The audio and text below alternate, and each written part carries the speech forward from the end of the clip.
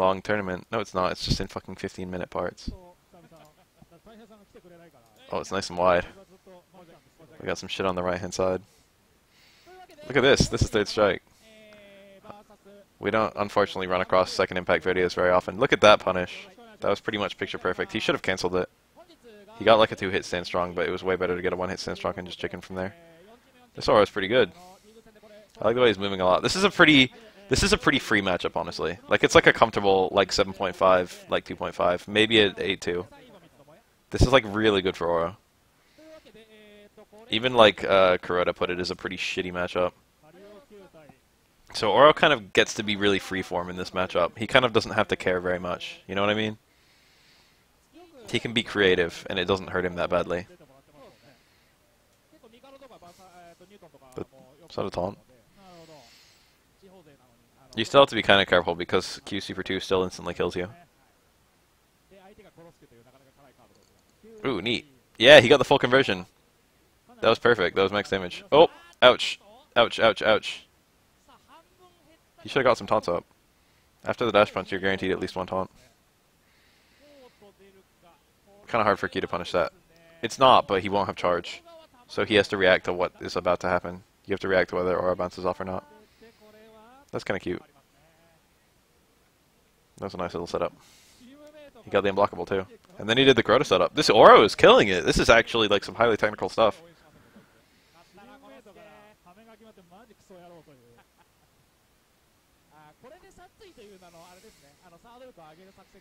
That was some hot shit, dude. That was some really good Oro play. Uh oh, we got a twin. So that was like a matchup where Oro kind of dominates. It really played like not too dissimilarly from Kuroda Oro. Kuroda Oro is more passive though, generally. Kuroda Oro is probably his least passive character, but it's still very passive. He plays passive as fuck with Q. He plays passive as fuck with um Akuma. He plays passive as fuck with uh Hugo. And then he plays incredibly fucking passive with every other character. Like even more than all those. His Oro is like vaguely active. Which is funny because Oro is actually one of the most passive characters in the game. That was nice. He's probably going to kill off this. That was like the right decision. What's with these shorts? It's technically good to not kill your opponent until the follow-up combo of the super. Yeah, those two characters kind of like, you know, he, you've got to choose your fucking instances because they're they're like their main strength of the high level players is just how much fucking damage they get off of parries which is probably the highest of any two characters, not counting Oro on his Touch of Death.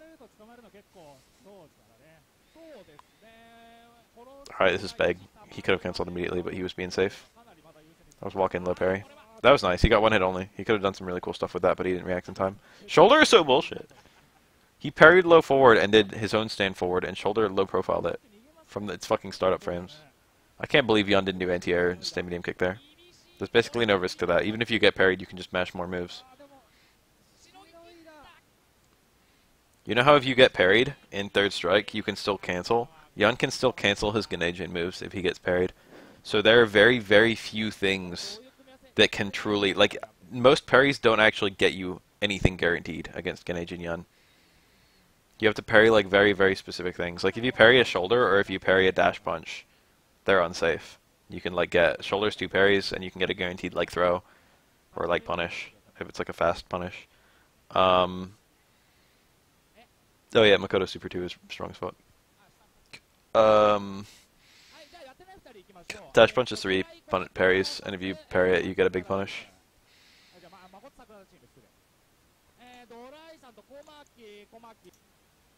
This is free play.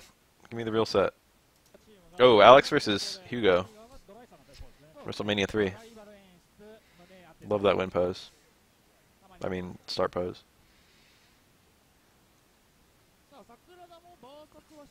Alex is so cool in this game That's a car throw. Back Fierce, that's unparryable. He was catching the Hugo who was fishing for the parry. Back Fierce is unsafe, but Hugo can't punish it super hard from far out, so it wasn't super risky. That's safe. All versions of Flash Chop are actually safe. That looked like an SPD, but Alex got his throw off first. Alex gets a combo there. He missed it. It looked good. It looked like he did light knee, but heavy knee might have been better there. but EX would have guaranteed. Alex is getting, yeah, all these plays right. Universal overhead is actually airborne, and will jump over throws and um, lows. Universal low crush, universal throw crush. That was nice.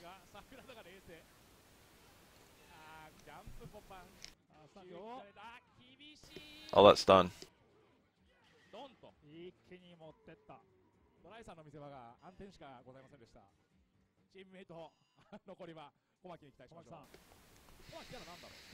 Alex has most of his stuff has zero momentum in this game, but his damage and stun are quite high. But like when you land an overhead, you're back to neutral. If you land a command grab, you're back to neutral. If you land um like a EX chop, you're back to neutral. If you land it towards, like, a throw, you're back to neutral. Alex is, like, okay neutral. It's definitely his weakest feature.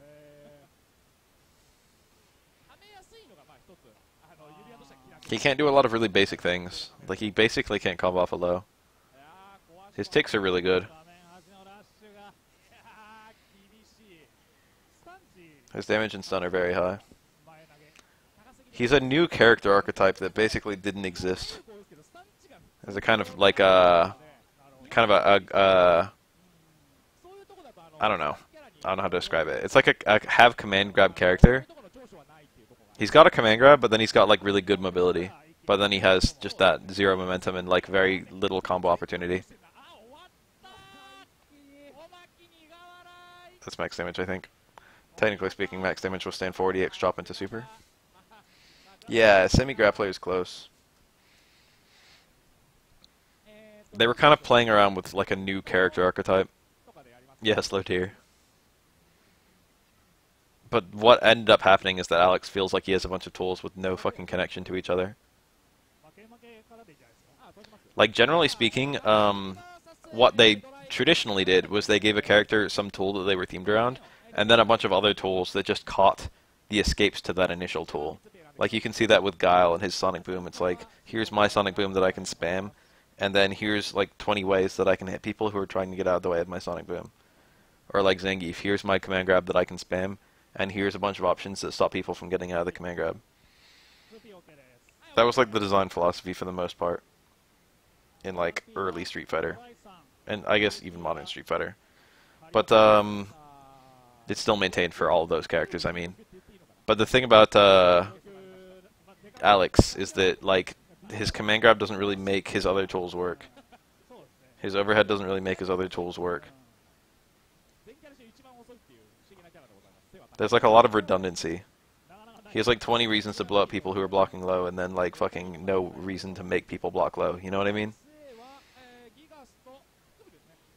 Crouch Fierce is a pretty shitty button.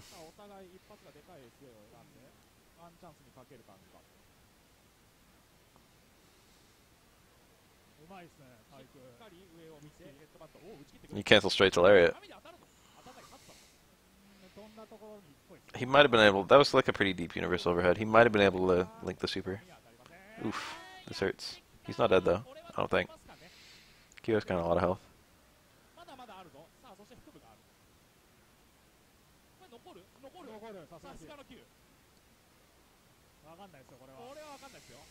Oh, he went straight for it. You can confirm that. That is a confirm. Dash punch into super. He just didn't get it. He got a false. False hit confirm.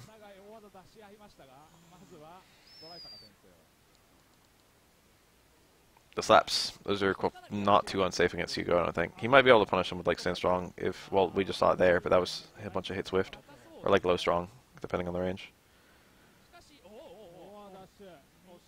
Certain characters have to red parry the last slap, which is basically a zero risk play. You don't take that much damage if you eat a slap. Get him? Nope. Certain characters have to pay the last slap if they want to get a punish. But slaps give you enough time to see what you're, like, where the timing would be. And also they don't knock down or do any damage if you get hit by just the last one, so the red parry is not super risky. And it's like a three frame window, so you know. I almost never go for red parries like that, but I don't... It would help a lot. Like that, Oro would actually really benefit, because Oro gets Sermon House on every slap but he can get launcher on a slap if he get red parry's last hit. But like I've never needed to learn that because that matchup is really easy. I've never played a Q who like convinced me that that was my path to victory.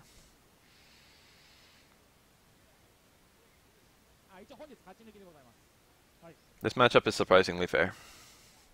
This is probably 6-4 in, in Yun's favor, or maybe even even. Might be a 5-5. Hugo's tools work kind of well here. His claps are pretty good. His buttons give Yun kind of a hard time approaching. Um, he doesn't really mind if Yun rushes him down. He's just as weak to Genei Jin as everyone else in the game. Minor exception, he has a one-frame command grab. And he can kill Yun in literally four SPDs. Like, I'm not even joking. Four SPDs will kill Yun.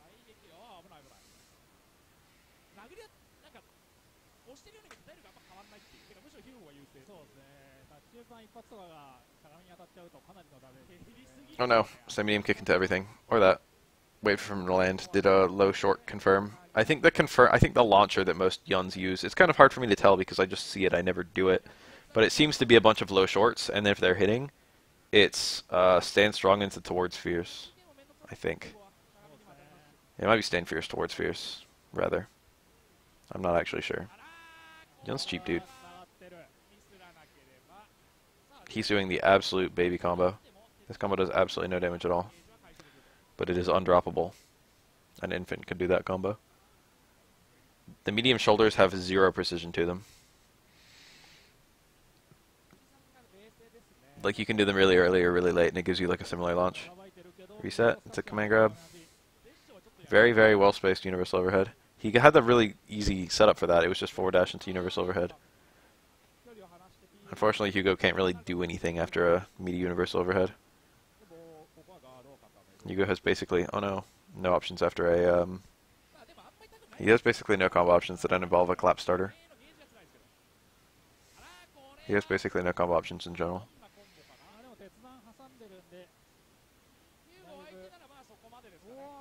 That was a pretty cool ender. You have two main concerns with your ender. Um, one is the meter build on your next Genei, and the other one is leaving the opponent in the corner.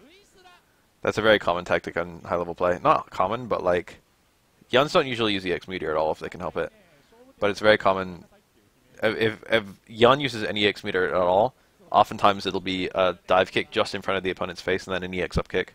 That's like pretty risky, but it'll blow up like a parry attempt. It'll blow up like a, um, a defensive tech. It'll blow up most buttons. Yun's EX up kick has invincibility. Like a decent amount of it. I think it's actually like truly invincible until it hits. Urien.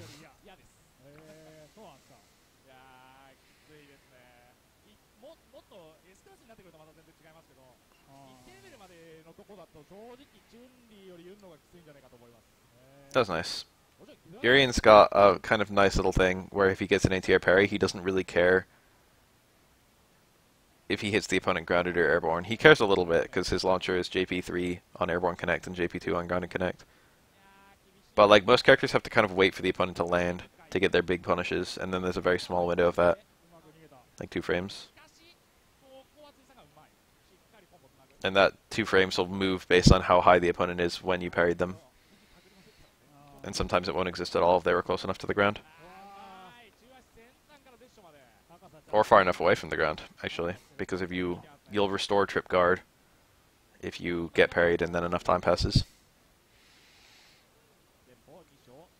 Anyway, Urien can he doesn't care if the opponent hits the ground.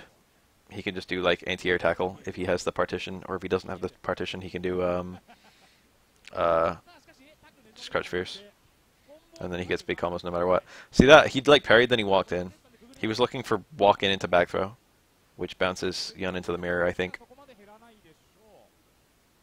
It's like a third uh, Street Fighter Five combo. Urien can situationally combo out of. Oh wow! This should kill if he does it right, which he didn't. That was kind of weird that Yun didn't even need the mirror. I think he's supposed to get hit by one hit of that. Oh, nice. Tackle Fierce? Yep. Two tackles was just introducing a possibility of failure there. Fierce was an easy ender.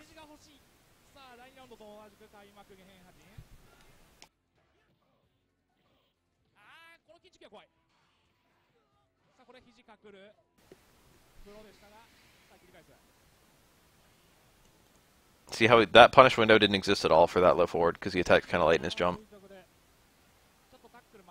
That was like a safe... It wasn't a safe jump in. But it couldn't be punished like that. I don't think.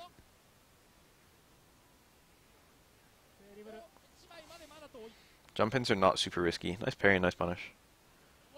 It's kind of scary to do something like that. He did low parry into nice mirror. He hit shoulder for the chip.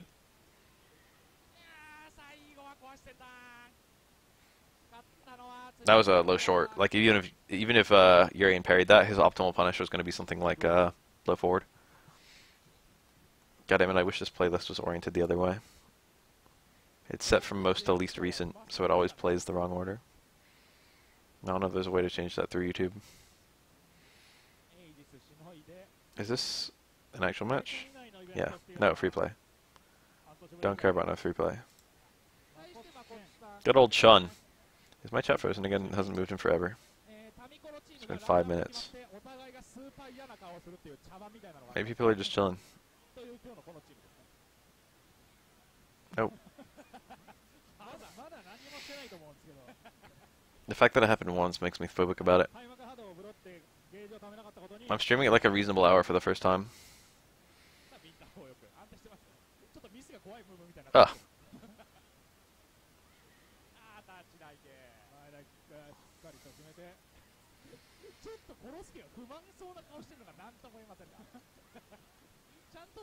That was cool. The cancels into Hazanshu are really risky. Sunleys don't pull them out that much. It's like not a super good mix-up. It's a better mallet smash. but not being two hits kind of hurts it. It's worse. Mount Smash does more damage and stun. And it's two hits, which makes it marginally harder to parry. But it, Mount Smash is slower, which is a big issue. Mount Smash also has a much, much, much, much better EX version. EX Hazanshu is one of the worst moves in this whole game. It's like almost as bad as the fucking Hazanchi super.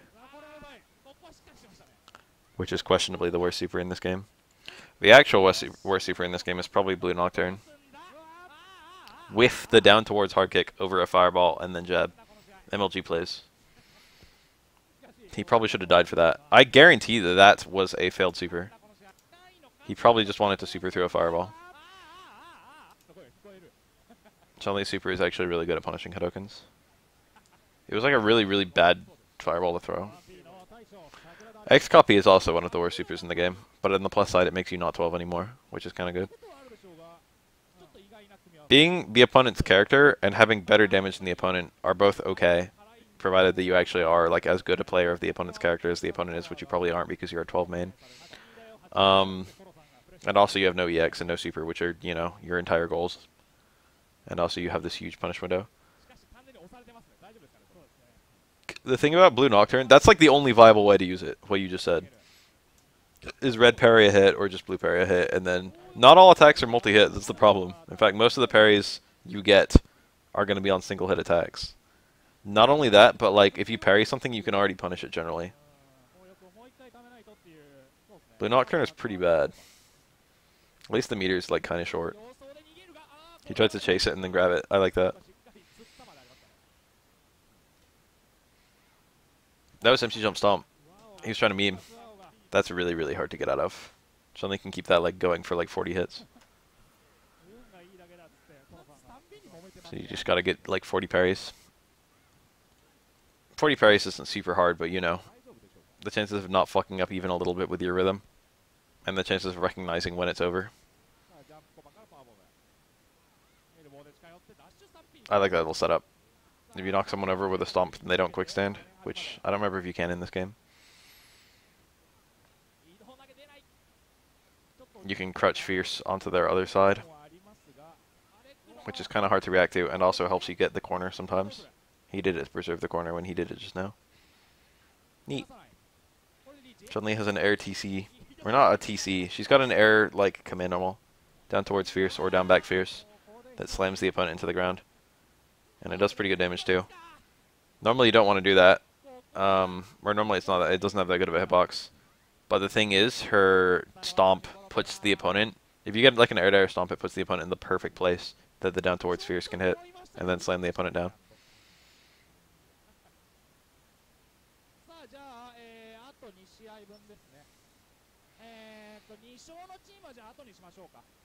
It's a pretty cool little combo.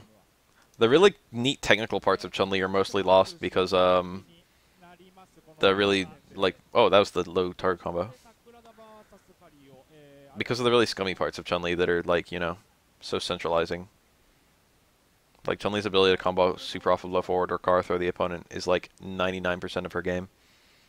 So it doesn't really matter if you don't know that well about like stomp combos because they don't matter. Neat. This will kill. No, it won't. This won't kill. It's Alex.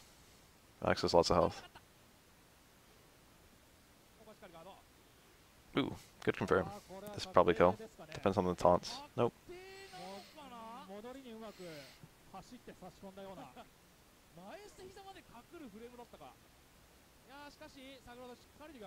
Q is pretty fucking strong.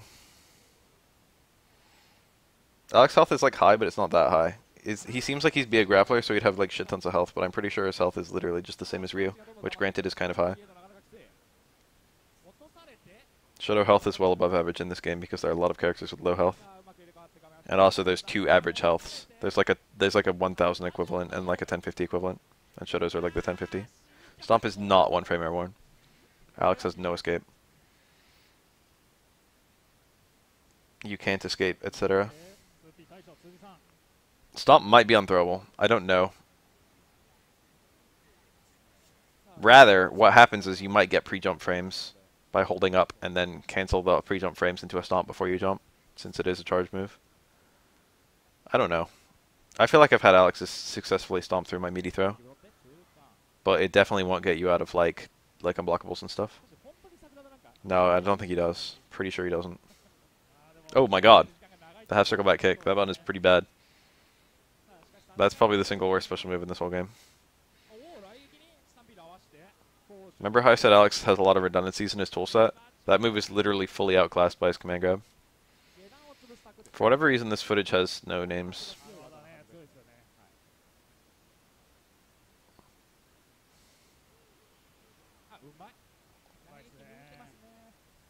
Wow. Empty jump super. Caught something.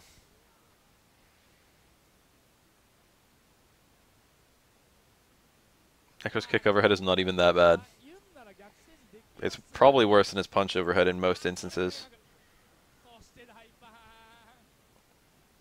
I've seen a real spiral DDT. I thought it was just a meme move, but it's based on a real wrestling move. They're pretty flashy.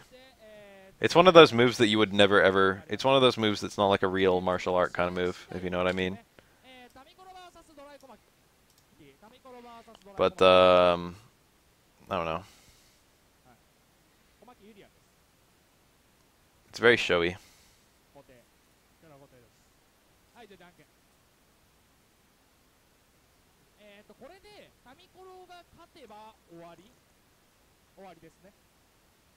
The thing is, okay, Max, there is a reason. Um, it's that uh, having different animations of an overhead just makes it harder to react to overheads. That's literally all. is if someone has one overhead, you can watch for a single animation.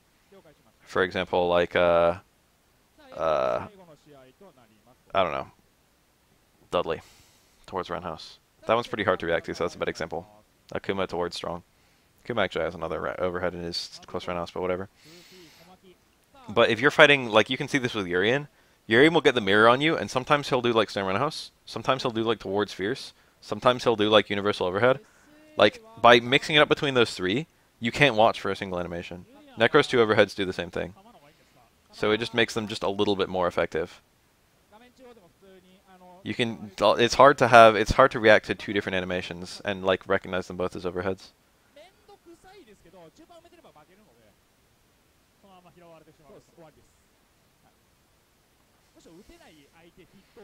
And then you see shit like whiff stand jab into low short just to make people like, you know, get lit up by oh shit he's doing something weird block high. You see stuff like that a lot in this game actually. Mostly from Urien to be honest. Urien's like the one character who gets like a really really solid just like ooh mix up a, a situation where the opponent just has to sit and block and respect for a minute. I mean, Yun does too with Genei, but uh, he can't combo off an overhead, thankfully. Well, he can, but it's like really, really precise. You need a well-spaced universal overhead on a crouching opponent.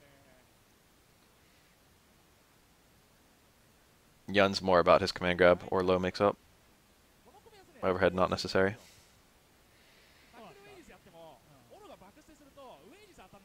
This is that Godoro from earlier. I spotted his playstyle. This trick, this mix-up is tricky. No, no, that wasn't. Yo, I've never actually seen anyone do that, but I've thought about it a long time ago. So it was just crouch fierce, and then he walked back really far, and then that's pretty good. That's actually pretty good. I'm stealing that. So that was a super knockdown. So there's no there's no way to quick stand here. And that's just unblockable. That's it. That's unblockable. And now, oh, he's doing the Kuroda setup again. He actually walked into it. That was kind of weird. It's because he didn't. Urien wasn't in the right place. Because he whiffed his jump forward. That setup is notable because it works whether the opponent quick stands or not.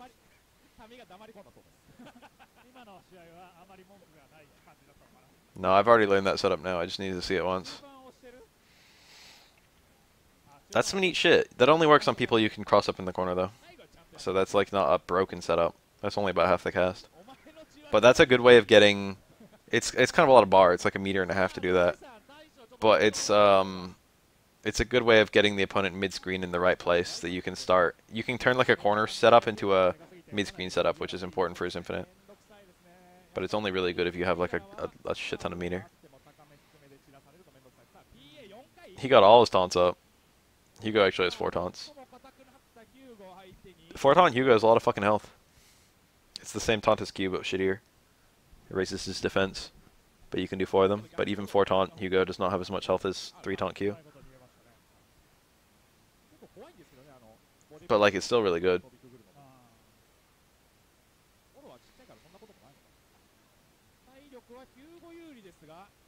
Meteor is really hard to build for Oro in this matchup because chicken combo doesn't work, and like Hugo's actually pretty good in neutral. So like, and like Meteor is really busted. Like you can just freely win if you have Super meter.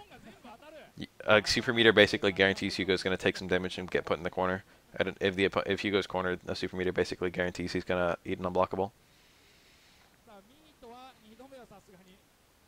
So um, Meteor's really really busted for Oro but it's really hard to build. But now he's got a, like a shit ton of meter. Eat. That beat uh, shoot down backbreaker, which has a pretty shitty hitbox, to be honest. Here we go. Tries to jump over it. Oh, fuck. He has juggle potential. Or miscounted. That's an unblockable. He did the Kuroda setup again. Not the Kuroda setup, but like the Crota ender. Q is 2100 and Hugo is uh, around 2000. It's pretty close. For for comparison, um, Ryu's 1200. Q with default health is 1200. Hugo with default health is 1400. He did the poison taunt. The poison taunt does absolutely nothing. It's just cool. He did the Kuroda setup again. He fucked it up a little bit, but it didn't matter. Did the Kuroda setup again. Again, fucked up a little bit. It would have been stun if he didn't fuck it up in either one of those times. Hugo's one of those characters where it doesn't matter if you fuck it up. Did it again, got it that time. And he did it again and got it.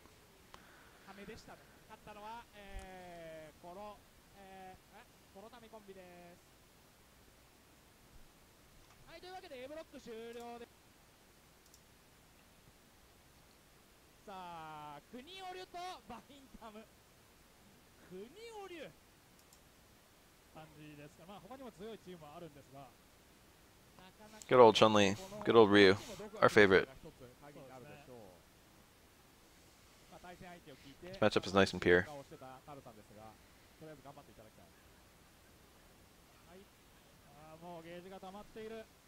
This is a super deadly scenario. Yep. Guessed wrong on the parry timing. People tend to do the earliest possible parry. Very few people tend to ever do the late parry. It's either earliest possible parry or hold up. Which is honestly a lot better than, you know. Late parry doesn't really do anything the hold up forward doesn't do. That was the early release, but he mistimed it. The thing is that Denjin not only not only having a different number of hits, it actually moves at different speeds depending on how much charge you have which can occasionally fuck you up if you're not point blank. Denjin's a damn good super. Kuroda famously went on record and said he thinks it's the best super in the game, which is pretty nutty. I would be between that. I would be between Genei. Nice. Lina definitely should have been pairing there. Um, I would be between Genei and, and Aegis. But Denjin's pretty good, don't get me wrong. For a long fucking time before Kuroda said that, people generally regarded Denjin to be gimmicky. A lot of people didn't really respect the mix-up. A lot of people were just like, oh, like, you know, you can just, like, you can, Denjin just lets you randomly cheese out wins when you, like, should have lost. It was generally seen to be about as good as Super 2 and Super 1 for, like, years and years. And then, uh, Kuroda went on record and said he thought it was the best super in the game. And then, like, the fucking Denjin Defense Force showed up. They were like, yo, Denjin is amazing. It is amazing, don't get me wrong. I think it's, I think it's pretty clearly Ryu's best super.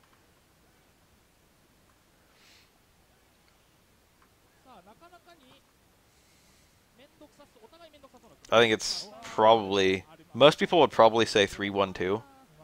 I think I would probably say three two one, but that's like a pretty unpopular opinion. A lot of people say one is his best super. One doesn't really do anything. It's okay. It lets you combo off of stand medium kick into like medium stand medium kick super, and it lets you do low short, low jab, low short super, which only works with super one. But the main thing about super one is it just gives you a lot of EX moves, and Ryu's EX pretty good. EX fireballs are really strong. EXDP gives you a wake up, I guess. EX donkey kick is one of the best EX moves in the whole game.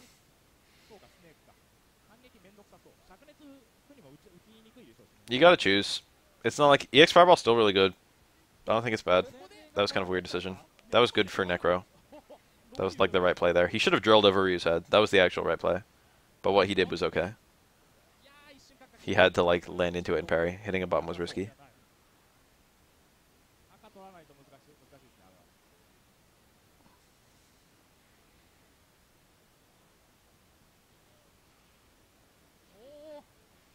The Denjin is just so strong for Ryu. If you can find that setup. There aren't that many setups. But it just hurts so badly. You basically, it's very hard to lose a round where you landed at uh, Shinshoyu. Well spaced. I think you would have been able to link a super after that. That's a confirm. I didn't know about that TC until like really recently. Being a couple years ago. You get it? Yeah, I love that. I talked about that last video. Super into immediate super as a mid-screen combo.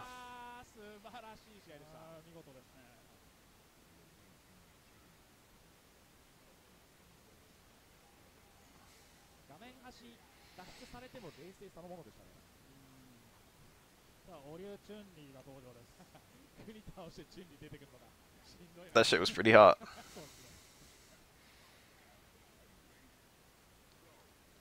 さあタムオリュ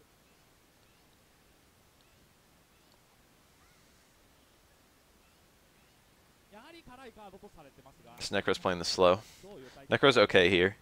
A lot of characters get shut down in footsies by Chun-Li, but Necro actually has some spots where he's better off than Chun-Li is. A lot of characters, like, they lose to Chun-Li on every screen position. It's like up close she's better, far away she's better. But Necro has some ranges where his buttons win. So it's okay.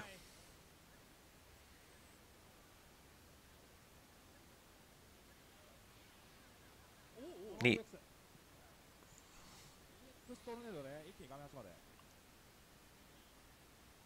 You can really see that she's kind of struggling. Her damage output is better than his, especially with shit like that. But you can really see that she was kind of struggling to move around freely. Yeah, Chun-Li can reversal. You just don't use those buttons, basically. Chun-Li can reversal like super, like a Stand Fierce or a Diamond House. Maybe that move too, low forward. I'm not actually sure of that one.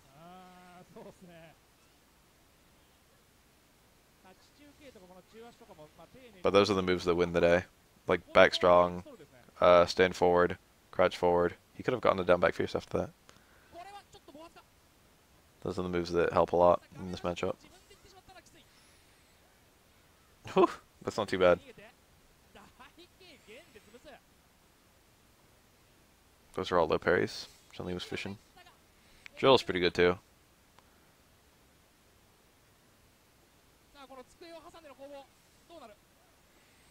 Li would drop to like like well Kikosho is not that much worse than Super wo- two for two. Kikosho does about the same damage for less bar. It's like a little bit less damage for less bar. So Chun Li wouldn't drop, but she would probably go to like high mid. If she had no super at all, she would probably go to like low mid. or maybe even just low. Her neutral relies a lot on the threat of like a very, very high damage super.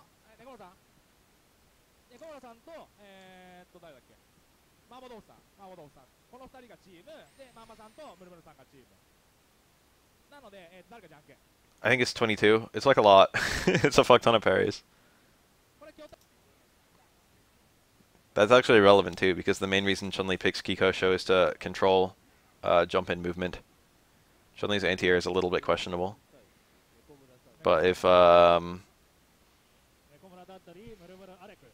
if she picks Kikosho, she can actually anti-air with it pretty well, which is really notable against Hugo, which is a character she hates constantly jumping in on her. So a lot of Chun-Li's pick uh, Kikosho against Hugo. It's like the only time you ever see Chun-Li not pick Super 2.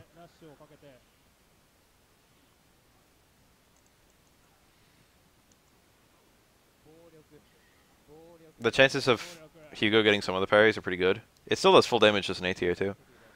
Chances of Hugo getting um, some of the parries are pretty good, but the chances of Hugo successfully parrying out is basically like very, very low. It's quite punishable though. It's more punishable than her Super 2 is. So you got to be careful about it. You can still confirm it the same traditional ways. In fact, it actually has more confirms than um, uh, Super 2 does, because you've also got the anti-air stuff. Like you can still do low forward super one. You can still do uh, stem run out super one. You can still do back fierce fireball super one. But then you also have things like air to air stomp into super one and stuff like that. There's some shenanigans with it. If Chun Li super two is like a 10 out of 10 super, Chun Li's Kikosho is probably like a 7 out of 10 super. It's not bad. It's just like outclassed generally. Tully's alright he's not like a. It depends. Some characters have a lot of trouble with his neutral. I think uh, Necro has a lot of trouble with his neutral. The low jump is kind of annoying, and the advancing towards medium kick is pretty annoying. A lot of characters don't really have good stuff about that. And the advancing towards strong too. He counterpokes a lot of characters if they don't have like good normals, he can kind of light them up. Good close range normals.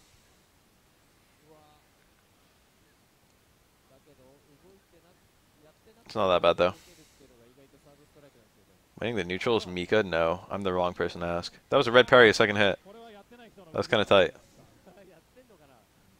That doesn't even do anything against Dudley. Just gave him a bigger punish. Like, that doesn't... He could have... Instead of doing that, he could have just done two high parries. And it would have done exactly the fucking same thing. Honestly, he could have done one high parry into, like, punish. And it would have done the same thing. Like he's still just as free to low. That's the reason you don't see shit like that very often. It's like really hard and it's not particularly better most of the time.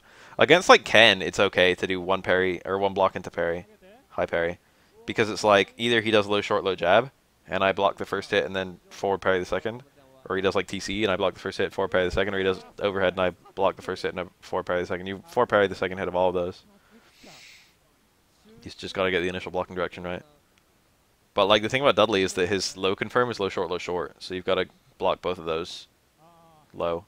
So that high parry would have just got lit up. If it was low short.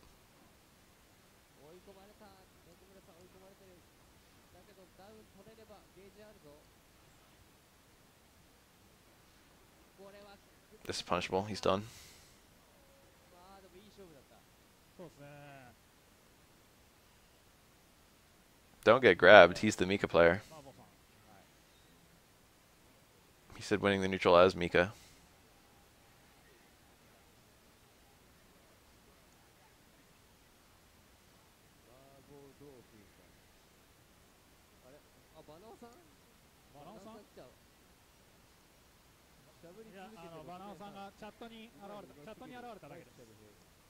本物かこれこれは本物なのか本物なのかな煽り煽りなのかこれはまあ分かりません本物っぽいですけどね本物かじゃあ本物 I don't think doing whatever you can to get the grab is actually the play as Mika. お疲れ I think the play is to get in and meshed in strong.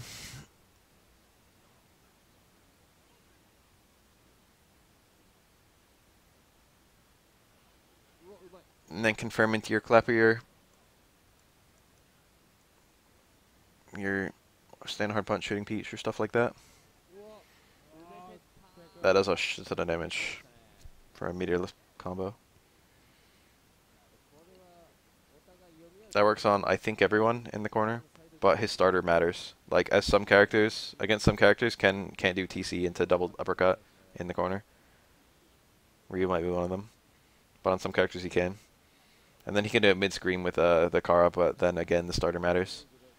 Like, after a low forward, you can do double light DP on most characters, almost everyone. But after, like, uh, a TC, there are a lot of characters it doesn't work on. Notably, against Q, you can do double light DP off of a lot of starters. Um, always.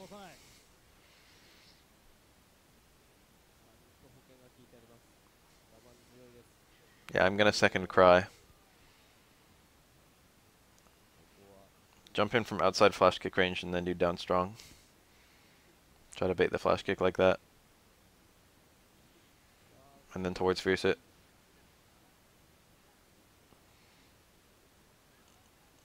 Use jump down strong from far away to get over Hadokens. Or excuse me, uh, Sonic Booms.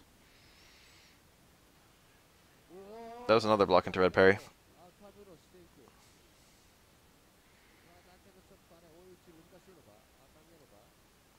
Mika's still okay against Gal. I don't mean okay, okay. I think she loses. I think it's like 6-4. Maybe worse. I think it's like 6-4. Ouch. The thing about that is that that parry window was really, really small.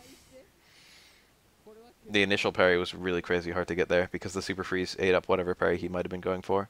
And then he had to parry post freeze, which was a very, very tiny window.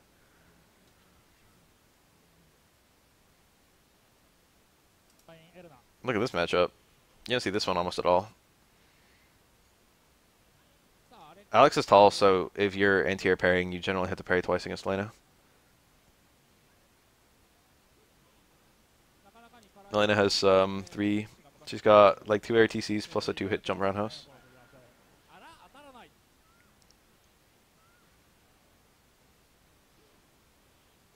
All of these things make life hard. lets her get like high damage jumping combos, and also lets her confirm whatever she wants on the ground. Neat. The sliding under broom's that good. I was never afraid of that as a gal.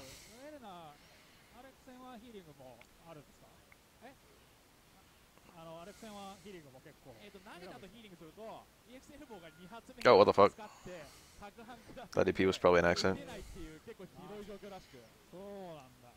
しくそうなんだはいあのしゃがんでる状況で一発目だけだって2発目使してえー、結構じゃあ9号線はよく見るんですけどおぐるぐる回っているいやータルバイムーブさあ勝ち込んで投げ返すいやー What the fuck was that? That was an EX slash elbow. たのかな最後 But that was like a really, really horrible time to pull it out. Ibuki Gal is like 5-5 to be honest. That's like a pretty fair matchup.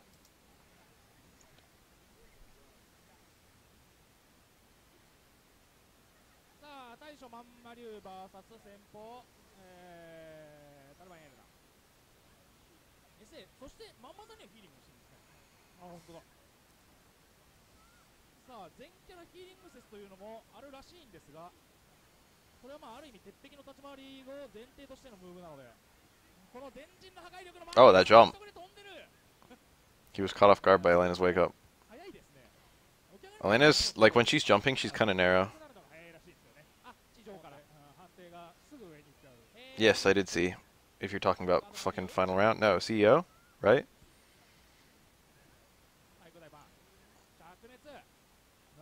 He played almost nothing like the way you were playing. But that's okay, because every Firestorm plays completely differently from me.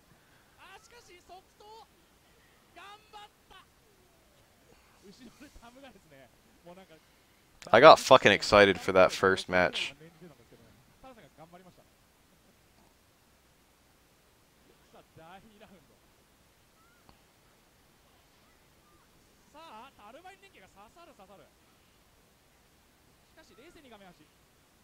I forget who it was. Was it Aquaman? No, it's Batman.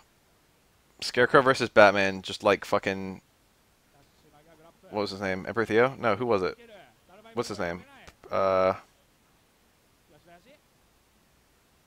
What's the what's the Batman?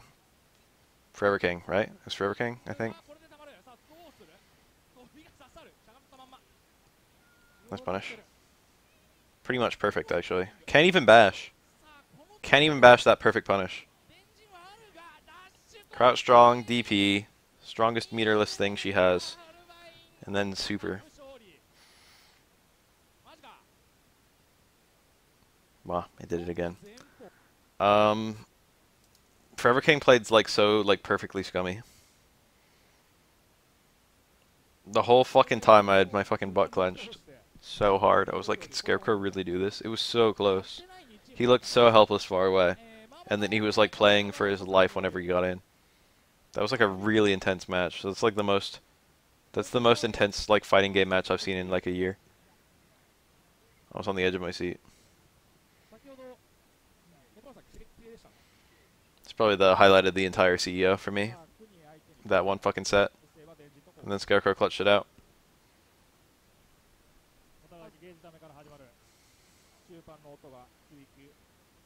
It's designed to like make it really it's it's just designed there's a lot of moves like that, even in Injustice but in other fighting games.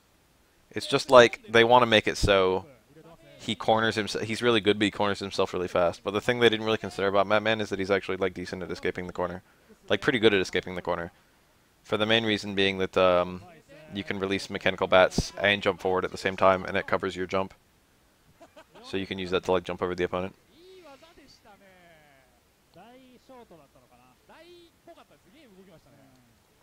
Like, if you want to look at that, but better, you can see um, Green Arrow. I don't know about Injustice 2 so much, but Injustice 1 Green Arrow is a very good example of a character with some really good, like, like retreating moves, but then like poor ability to uh, escape the corner.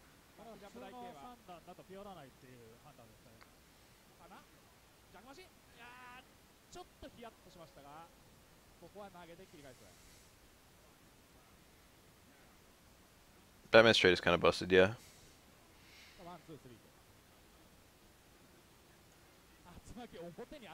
It's kind of a different design philosophy than Dhalsim, even though you're still trying to corner Dhalsim. I guess it's more like Guile. It's really easy to play a defensive Guile if you don't give a fuck about screen position. But then Street Fighter 4, Street Fighter 5 Guile, once you get cornered, it's kind of hard to actually find the certain things that allow you to escape. The only thing that truly guarantees your escape in Street Fighter 5 is like a fucking crush counter sweep into V-trigger.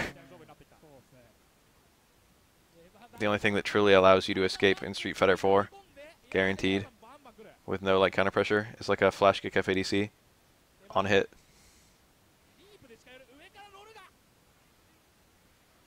I think the number of bats doesn't matter almost at all. Almost always it's going to be one bat. And one bat enables you to do most of the bullshit stuff that Batman can do.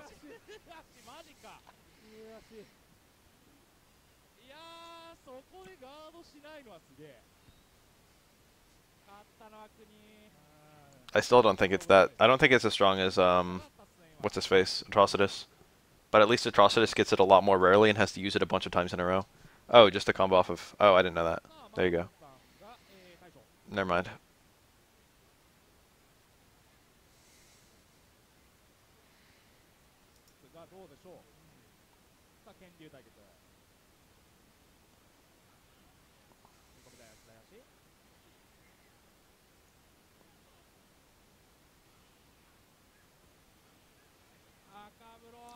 That's a nice red.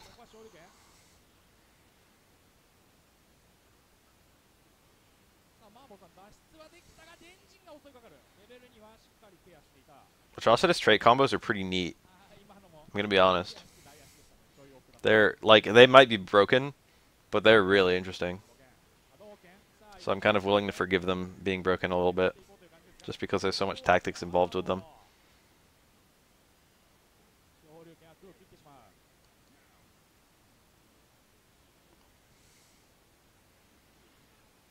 Yeah, I know what you mean. Set empty, cancel low forward. Dash out, dash in. Shoto dash is so fast. I think that low forward, he was looking for the low parry. And he just did it anyway. Another empty, cancel low forward.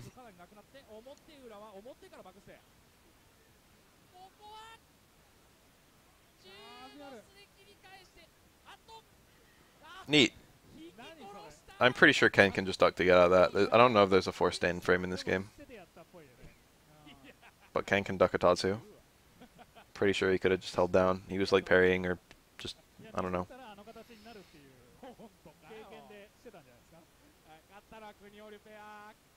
Aquaman's a legacy character, and also he just got a lot of buffs in general. Or rather, he didn't mind too much about the the mechanical changes.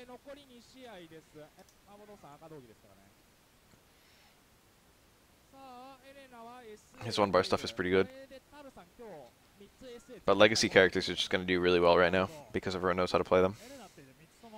It's going to be a while before we really see, like, even though Poison Ivy has, like, a good tool set, it's going to be a while before we see a Poison Ivy doing super, super well.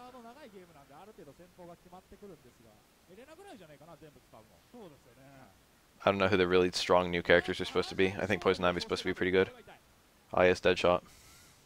Deadshot doesn't count because he's so fucking simple.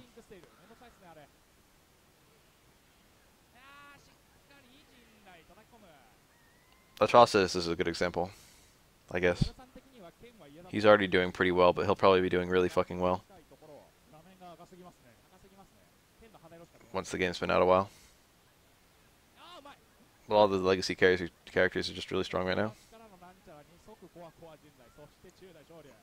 Granted, the legacy characters probably have the best balance, and by best balance I mean, you know, not underpowered. Like most of the legacy characters, they have a pretty good idea of how they're supposed to fight each other. The only legacy character I haven't really seen that much of is Green Arrow, which is understandable because he didn't really have that many players in. Um, no, not well, yeah, Green Arrow, but Green Lantern too. Now that I think about it, Green Lantern actually had a lot of players in Injustice One, and now he's kind of like unplayed. His he got a lot of his his damage is really shitty in this new game even with like the strongest combos I can think of, I struggle to break 400.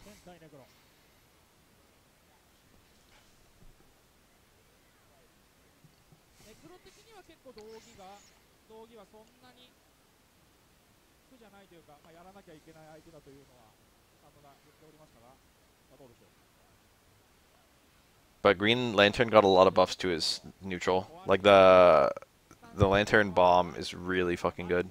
Got the double. That shit's hard. Very few cans can get that at all.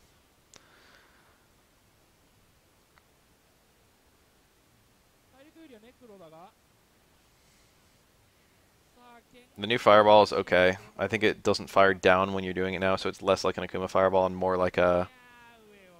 Uh, does anyone have a fireball that goes straight across the screen from like the air in Street Fighter? I can't think of anything.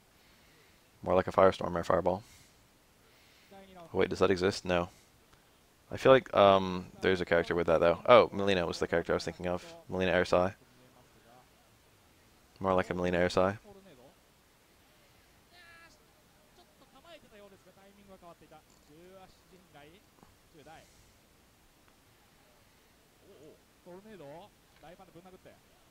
Neat. That low strong. Yeah, dead shot. But like the the air fireball is probably a little bit worse, but the bomb is really really good. And there's another thing, the rolling thing. That's like kind of it looks kind of bad to me, but it'll probably be all right. It looks like it'll help you win fireball wars. It's just uh what's his face? Tremor's fireball or one of his fireballs.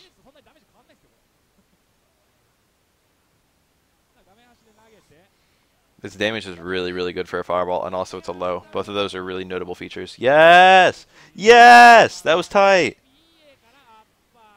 So moves that reset in Third Strike no longer reset if the opponent gets dizzy midair. So all moves have an inherent juggle point system.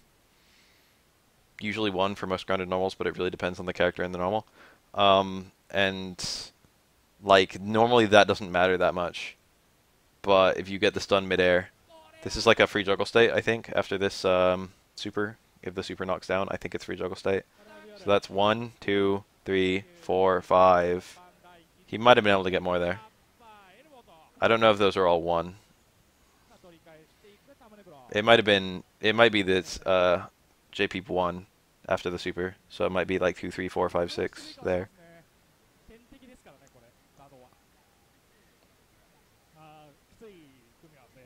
Necro's got certain setups where you can do some really fun stuff.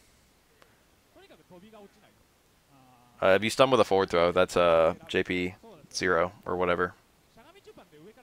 Almost all launchers are JP 1.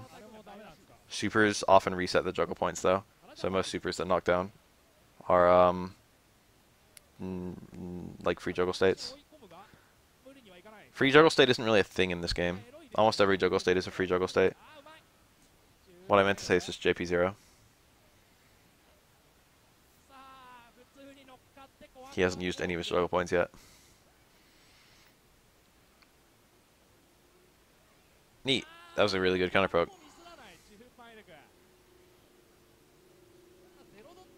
That parry. Necro's trying to play really, really passive. You can see it. He's trying not to do any moves that can hang him. Dudley was in like hyper parry mode. That like whole end game looked kind of strange, but like from a third strike perspective, as a third strike player, like it was very ordinary looking to me. But like look at it again. Literally from this point onward, like Dudley has to play a very strange way in order to be ready for whatever parry comes his way.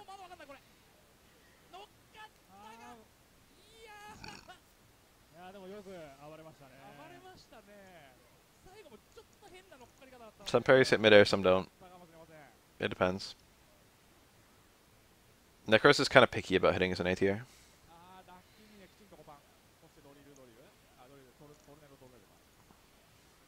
It has like hits where it's on the ground and then hits where it's kind of jumping.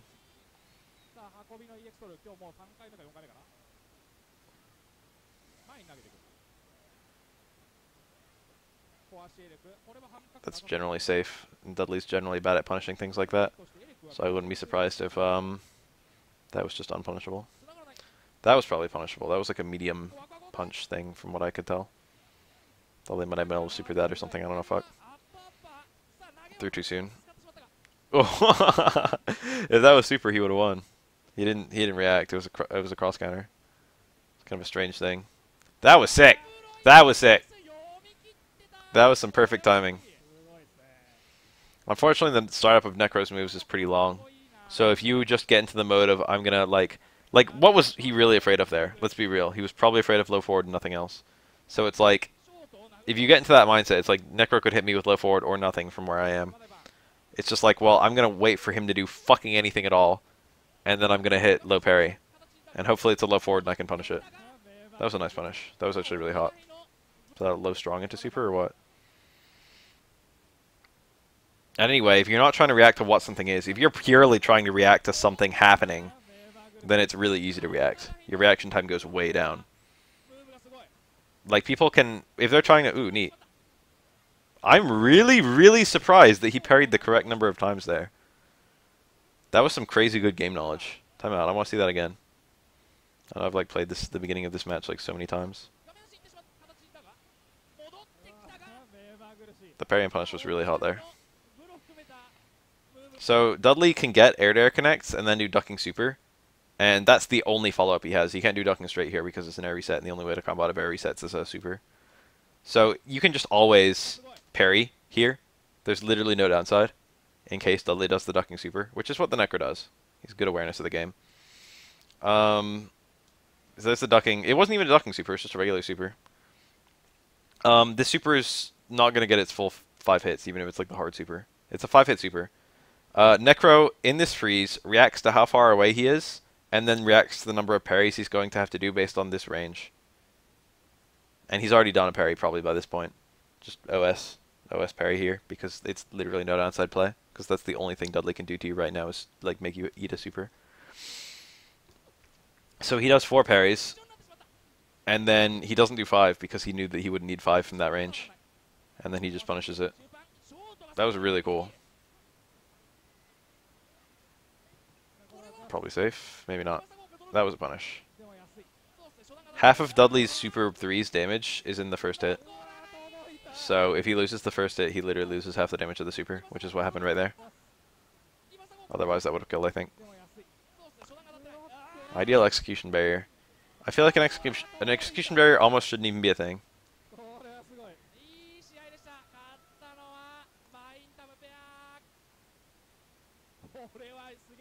I feel like there should be like shitty things that are just completely easy to do. A pretty good example of a game doing that. I don't think it's like super creative or anything, but a decent example of a game doing that is KOF 14 with the repeated jabs having a unique TC.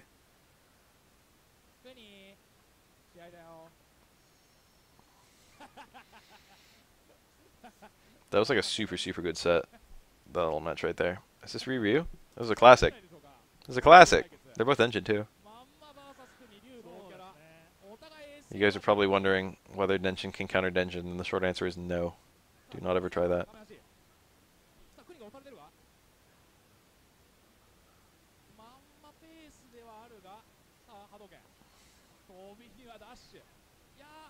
What the fuck? Hold on, time out. I want to see that again.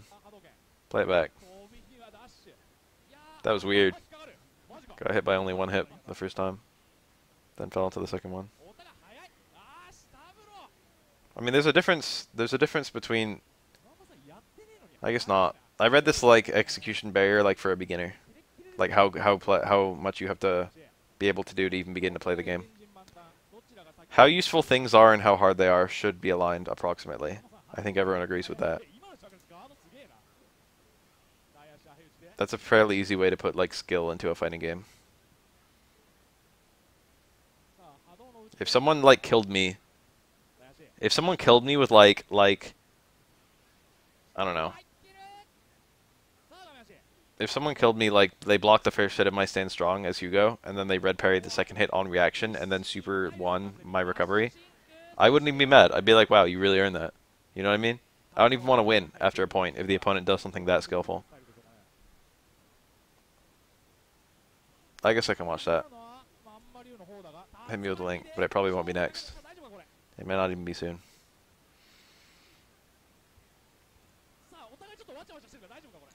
People are generally okay with things as long as the things are hard to do. Strong things, is what I should say. Most people are like, oh, that was a card even enough to word strong. That's um, pretty hot.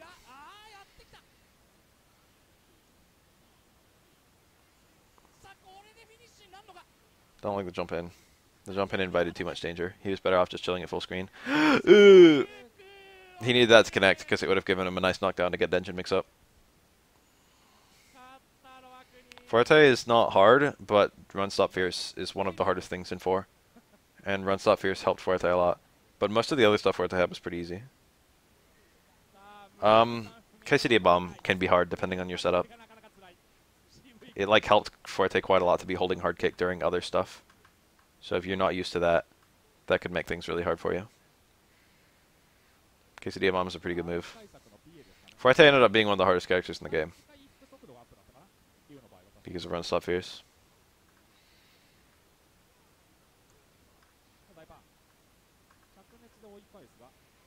But like everything, most of the other stuff Fuerte has is like, you know, not that bad it's he's more of a decision making kind of character. He's more of a hard read kind of character. There's nothing tricky about doing a fucking quesadilla, or what do you call it, uh, propeller tortilla, or doing a fucking tostada press on either side. That's easy as fuck.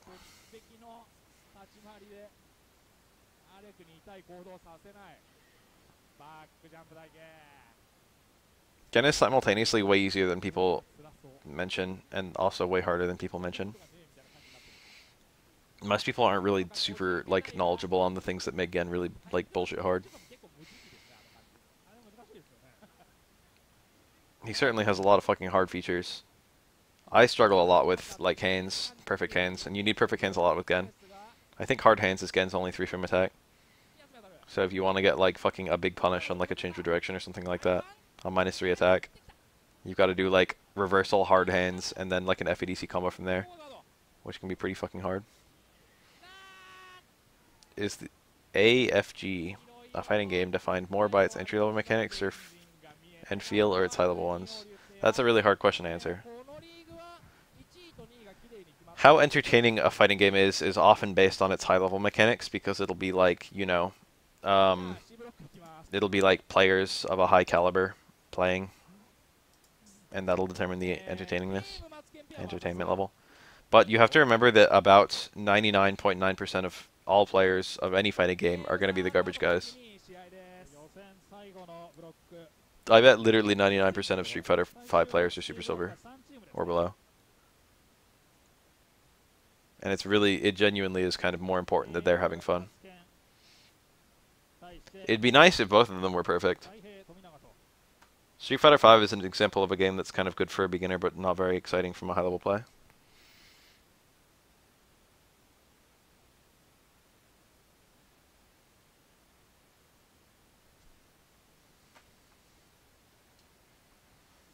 Yeah, I'm, I'm, I'm being serious. It probably is like 99% Super Silver below.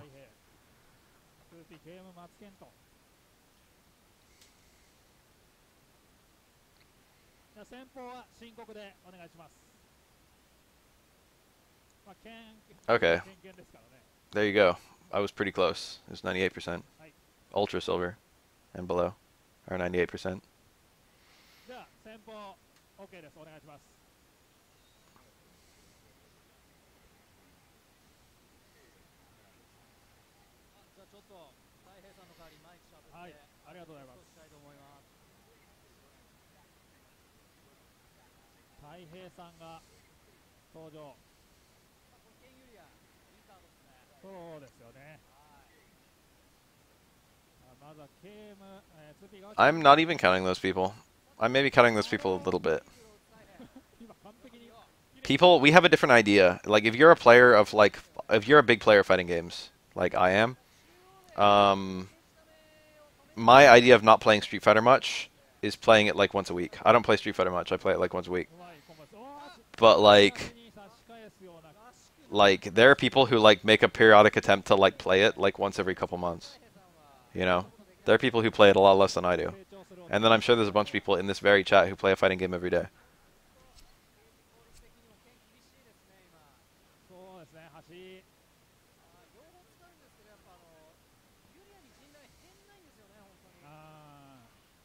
I probably play like not even five hours of Street Fighter V every week, and that's been true since launch. I like have no business even being remotely as, as good as I am with the amount of practice I put in. But it's just because I'm carrying a lot of skill from previous fighting games. And of course it hurts me because I'm not that good. I'm better than like most people, but I'm not like anywhere near as good as I want to be.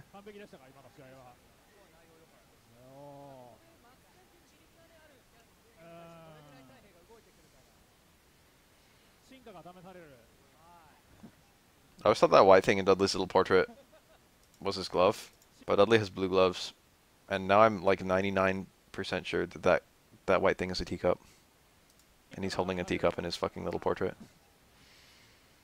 Because you can see the blue around it, which is the color of his gloves. I don't even understand why he would be holding a teacup in while wearing his glove in the first place.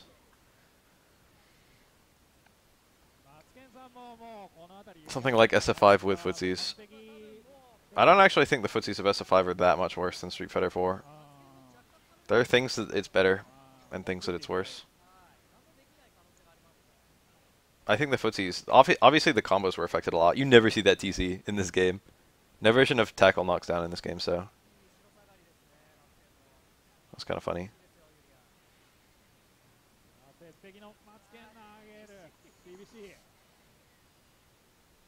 Yeah, definitely the loss of pokes hurt it a lot. I feel like so many people have said that now. Where's Capcom? Do they just not want to change the game that much in the fear of losing even more people? Pairing that is not doesn't render it punishable. It's both. It's definitely both. It is a mental sport, it's a fucking performance sport.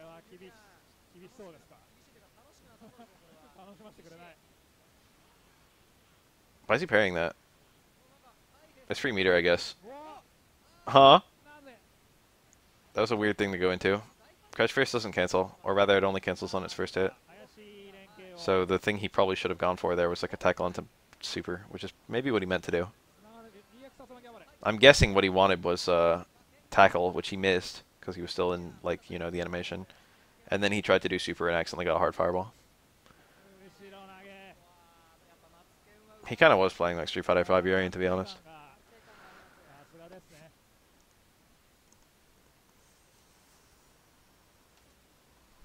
That's like a weird thing. When Street Fighter, I played Street Fighter 3 for years, and then Street Fighter 4 came out, and all of a sudden there were an influx of players who were like playing Street Fighter 4 Ryu and Street Fighter 3, which is not that bad, but it's worse than like playing Street Fighter 5 Ryu and Street Fighter 4 style, or like something like that. Whoa, whoa, whoa, my chat. Come back. Are we losing frames? I haven't dropped a single frame.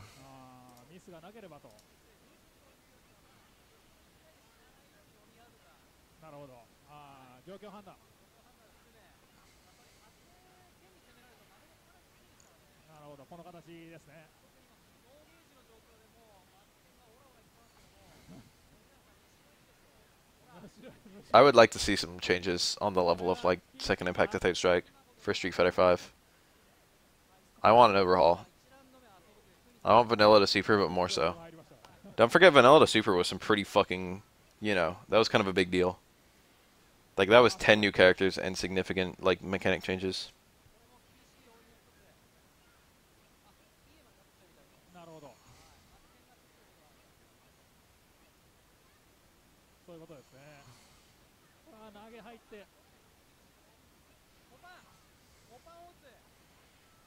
That's a punish. He didn't have super. I think he thought he would build it. I have no idea this is Tomy. It might be. We'll know as soon as he gets a command grab.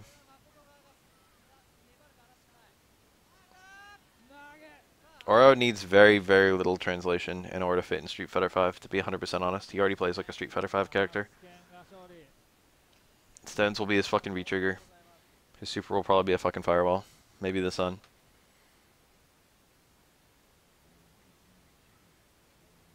They'll probably give him two supers, to be honest. Skill, I got no fucking clue. Falls asleep. Recovers HP.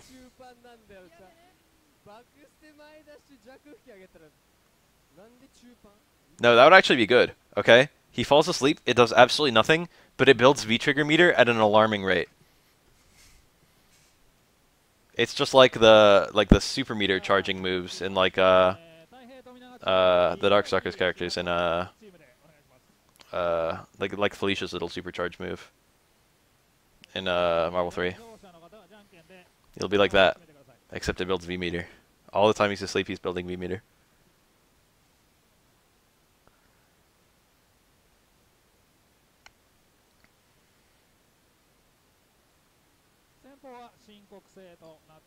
So you can drop combos early just to get the build.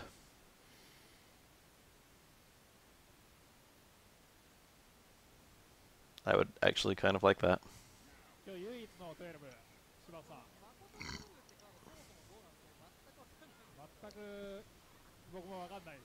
Okay, what's going on here? This one's spaghetti for sure. Thank egg. Oh, it's the guy bowing, I see now. そうですよね空中戦も全然負けてないと Just add grooves, dude. That's it. Just add grooves. Add a Street Fighter 3 groove, Street Fighter 4 groove, Street Fighter 5 groove. Done. I just fixed the game. I just made it the greatest fighting game of all time. Street Fighter 4 Groove has um, no input buffer. And FADCs.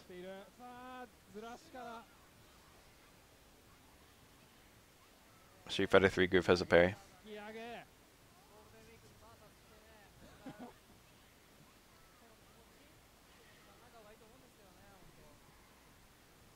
さあ一瞬の出来事うん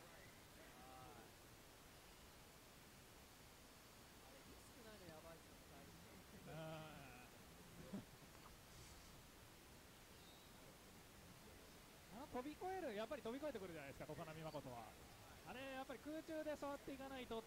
Street Fighter 4 actually had way worse fucking anti-airs than Street Fighter 5 does. Initially. But then the most requested change every single fucking balance patch was give my character better anti-airs.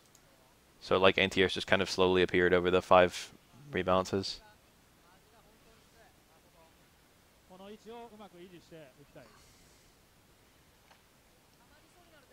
There was a lot more bullshit to deal with in Street Fighter 4 with the jump-ins too. Like there's nothing on the level of Rufus Dive Kick in all of Street Fighter V, and there probably never will be. Closest thing is Akuma's Air Fireball, which is pretty good, but not that good.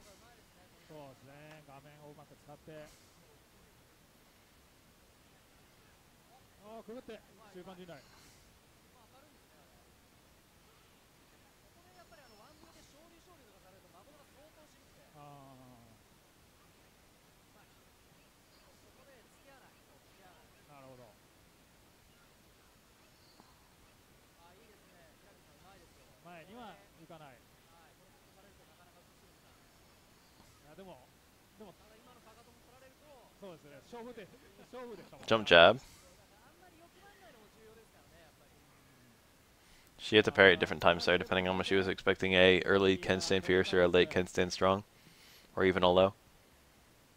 Ken could have made her land on the low forward too, and she couldn't have done X kick. She could have done X kick to just not land for a while, but that would have made it so stand fierce or stand strong would have been a punish. It was a bad scenario. Jumping over the opponent was not the correct play there for Makoto. Oh my god. Oh no.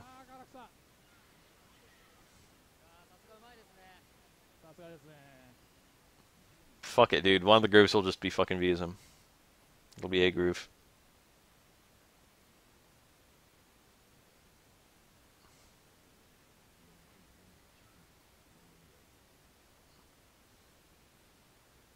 Put custom combos in SF5.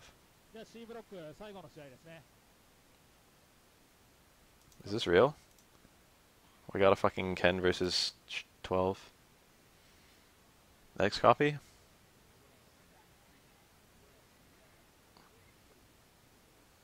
Feng Shui is a rich man's Gun age and it just wears off after a combo and a half. It's not really any worse besides that. It's slightly worse besides that.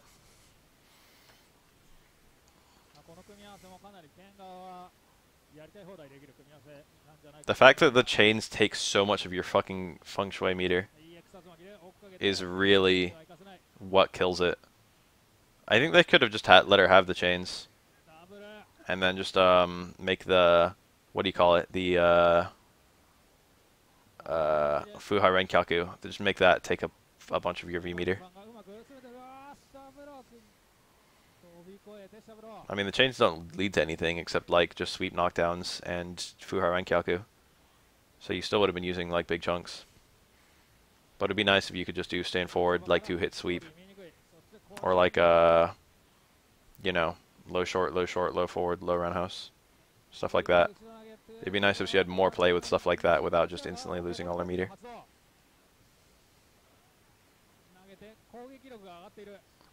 Yeah, losing the overhead was kind of bad too. I mean, she still has the overhead, but losing the overhead combo. Neat! Neat! Neat! I talk about that combo all the time, but we finally saw it. I feel like this never ever happens, but I frequently bring it up. I bring it up whenever I see a Ken miss it when it could have killed. But it actually does kill here. That gets two hits. If the two hits kill, it's the right play. It's a lot easier than double DP. Sometimes double DP is not available, but that is always available.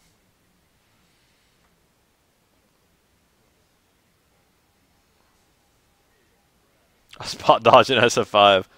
I've never heard anyone suggest that. But that's a really cool idea that I want to think about a little bit. Spot dodge like KF, KF extra, extra mode or whatever.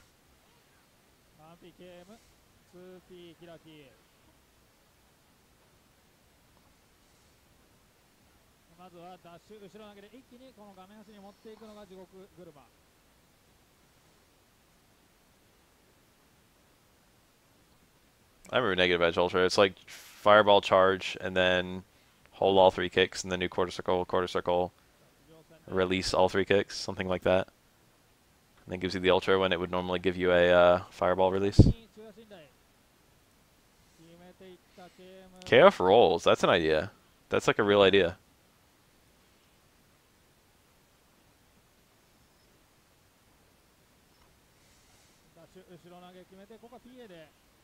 攻撃力を上げる Dude, give give give SF5 two layers. Make it so you can go into the foreground and background. 寸止めの中パンチ And then make certain sweeping attacks. これは Hit both. しっかり決めて I want a 2.5D fighting game. Wow. Wow. Holy shit. What an, what an uppercut. He might have been doing that just to build meter.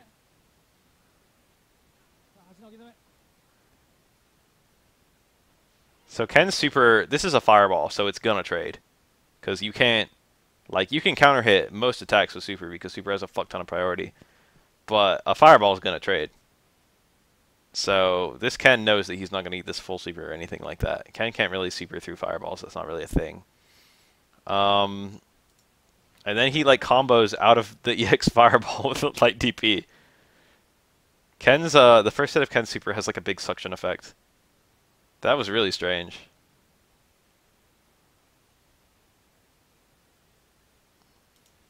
I don't blame Capcom for making costumes, but I do blame them for not doing other shit.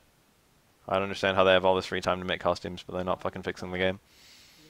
But like, you know, the costumes are pretty cool to be honest. I'm not buying them at any of them, but like I like seeing them. It's a fairly harmless way to add value to the game without like, you know, it's a good way for them to make money without like uh doing anything really objectionable. Like fucking DLC gems or whatever.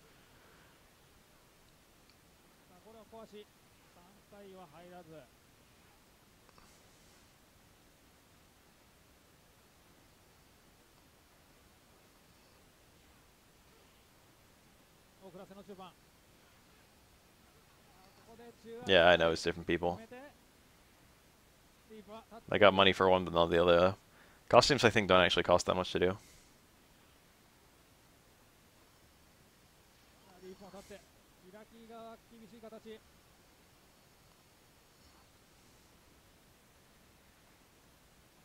The thing about Capcom that's just so surprising about all this is that, like, it's not really surprising, but, like, we all really want every literally everyone wants Street Fighter Five to be a good game, and a lot of people are kind of forcing through in the hope that Capcom is going to pull through.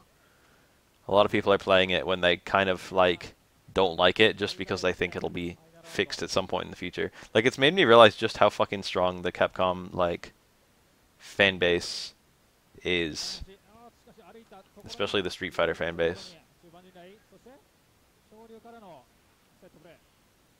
I think MVCI is a pretty clear example of that fading, actually.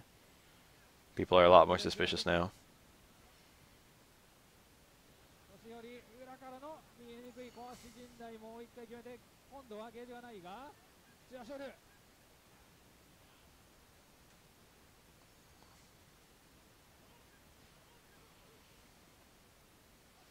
Yeah, Street Fighter V would have died long ago if it wasn't Capcom.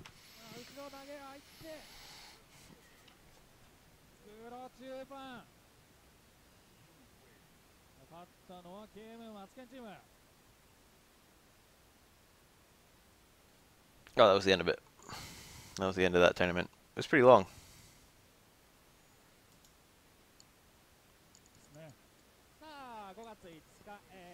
This one's got the same weird layout. Neither of these are East versus West wars. This says uh, P One Two.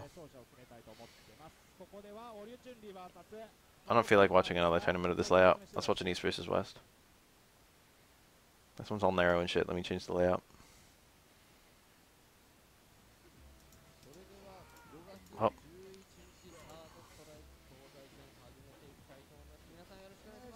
Switch looks a little jittery, damn it. Not again.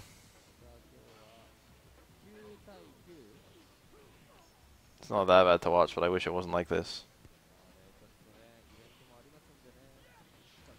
Let's keep trying, baby.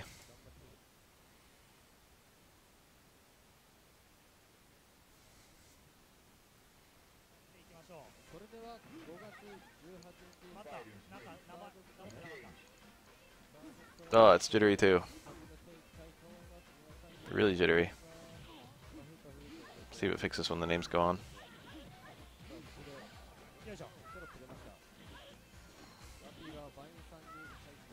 I don't really believe the meme that um, uh,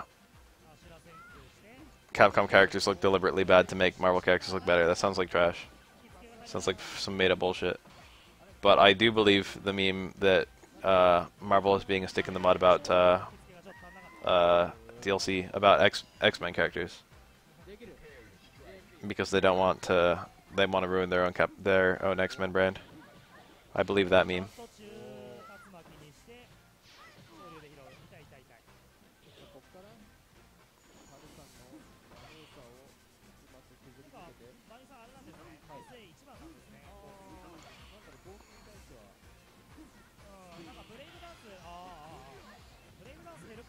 It still looks a bit shitty.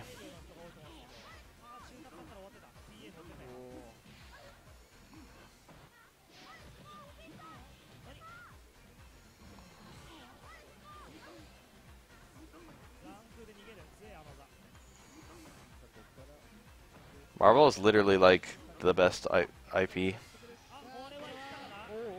I kind of thought that would trade, and then it did trade. Big ol' hitbox. What about this one? Give me some fucking good clean footage. This looks good. Wait. Wait. Wait. Yeah, this looks nice and clean. Yeah, look at that. Look at the frame rate. Yeah, they're moving perfectly. Muru Muru versus Samurai.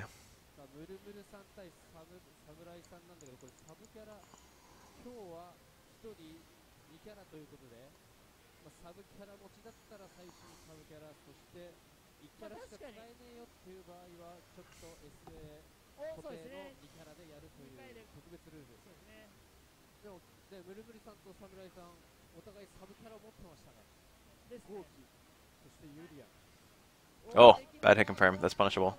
That was a pretty good punish.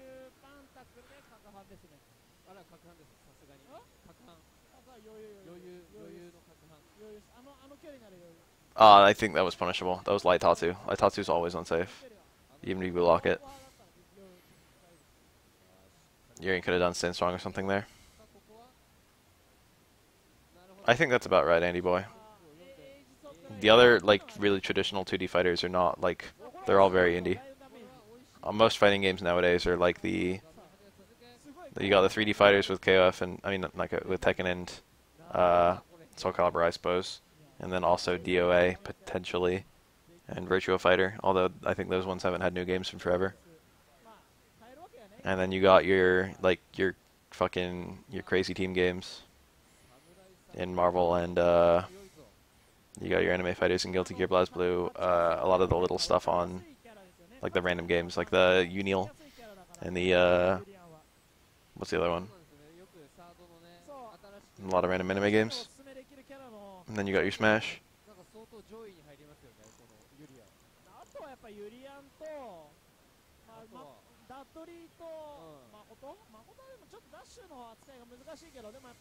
I think that Garou 2 will probably come out really soon from all the news I've been seeing. I think that's a real thing that's probably happening. It's probably already in production.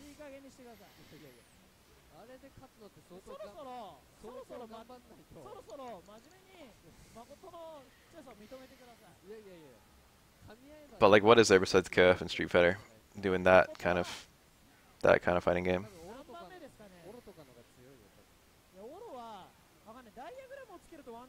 Garou is kind of a KOF clone. It might actually be more accurate to say KOF is a Garou clone. There's some significant mechanical differences. Garou is 1v1.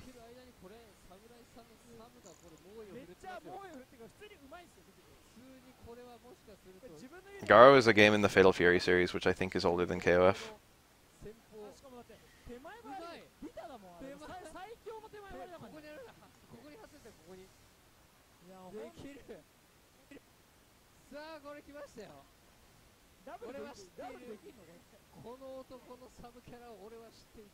The taunt. As round start taunt. Hmm.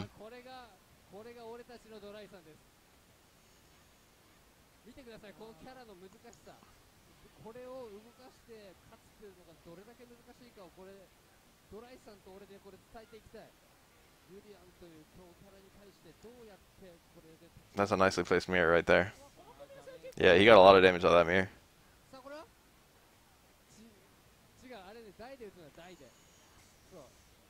Dolphin MVC2? Huh? MVC2 was never on GameCube. Or Wii?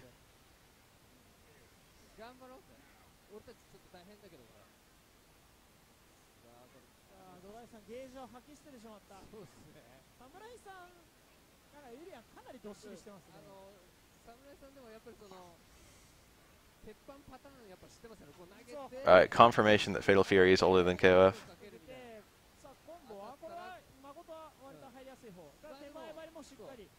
There were a lot of fighting game series that kind of, KOF just kind of ate all of them. There was that one, the Fatal Fury series, which is what Terry's from. There was the Art of Fighting series, which is what, uh, um,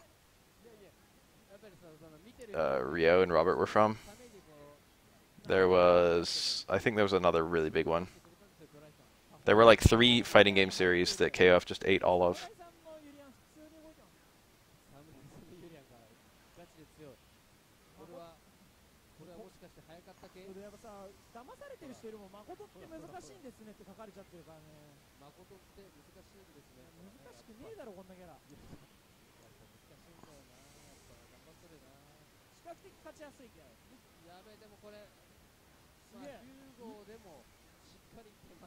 I do not work tonight. I'm free. We can hang out.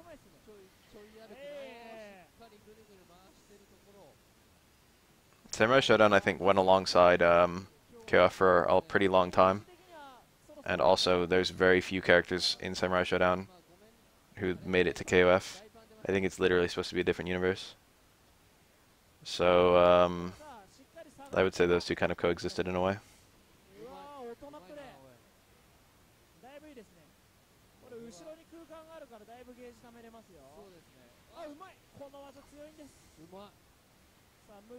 Technically speaking, a bunch of the uh, Samurai Shodown characters snuck into uh, CVS. I uh, don't know about a bunch, but like a uh, a decent number. Nakoruru was in that game, wasn't she? and then I think Hibiki. Was it Hibiki? Was she a Samurai Shodown character? I don't even know if she is. She just looks like one.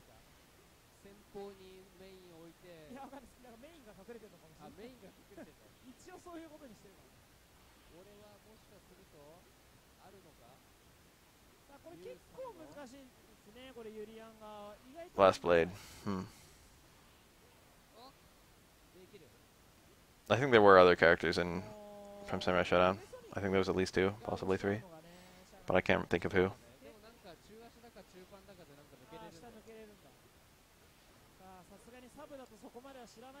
Who's the fencer bitch from Samurai Shodown? Charlotte? I like her. Haohmaru. That's it. Yeah, him. He's the samurai, right?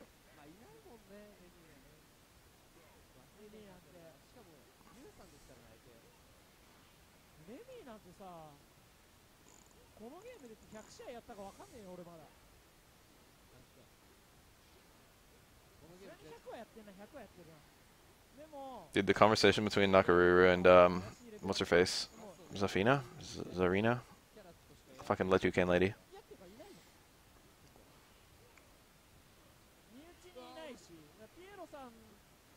Letuken has arrived, the character.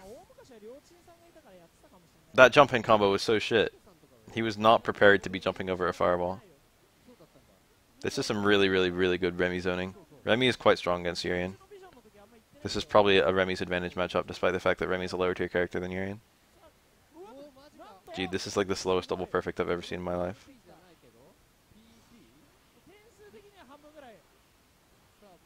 I've seen some very slow double perfect. Oh my god! dash, dash, cold blue kick. That has unthrowable frames. Remy's zoning is really, really awful if you can't duck his fireballs especially if your movement is kind of stiff, and Urien's movement is very stiff. Yu is a good Remy, or perhaps Yo, if you're pronouncing it like a Japanese.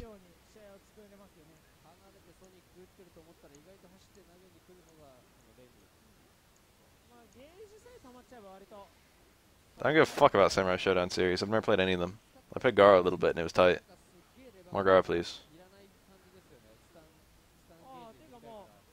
Garou is okay. So Street Fighter came out, and then SNK started making the KOF games, and Capcom saw the KOF games, and they were like, KOF's kind of cool. They've got some kind of quirky stuff, and they made Street Fighter 3 as a semi-evolution of Street Fighter 2 and a semi-response to the KOF games. It's kind of a way to make Street Fighter more modern, more rushdown oriented, more movement based.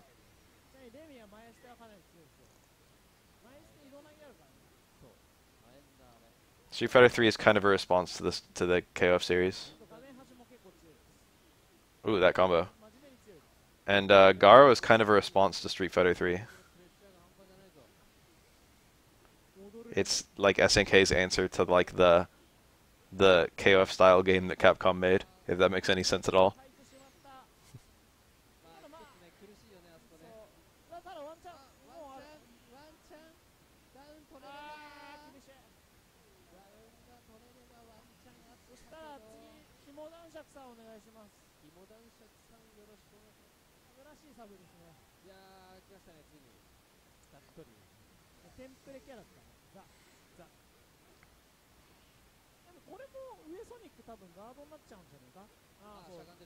Brian, you mean Ryan? Kevin Ryan?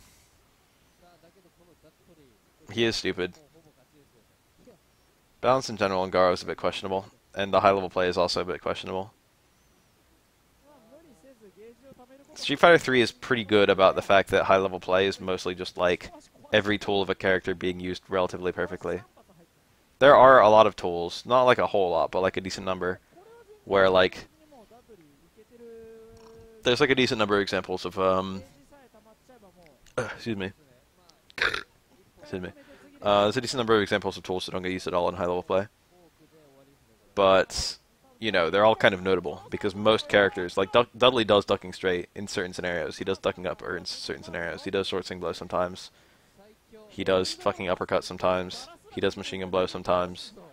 The only thing he doesn't really use that much in high level play is like cross counter and he uses like most of his normals in certain scenarios for those normals. You know what I mean? The thing about Garou is when you see like high level Garou, a lot of characters like have entire tools they just don't use at all. You just see a hyper optimized version of that character's playstyle where it's just like very few things they actually do. Kain is one of the characters who's the most interesting to me in Garou. When I tried to play Garou, I the only character I really thought was kind of cool was um I mean I think most of the characters are kind of cool, but the one that kind of messed with me was Freeman but I think he's literally considered to be bottom tier on like every tier list. His moves are kind of committal.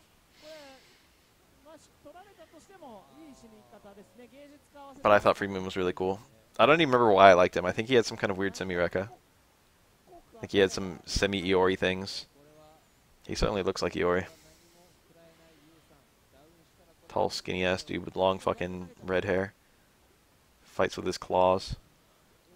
There's definitely some kind of dank Iori reference in there somewhere. Iori is like top five fighting game characters for me in terms of design.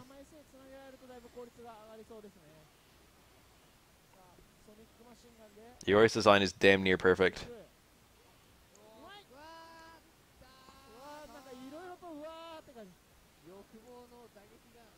Gameplay and visual. And personality too. That's it.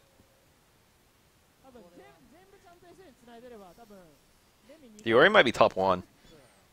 Yori might actually be my favorite fighting game character.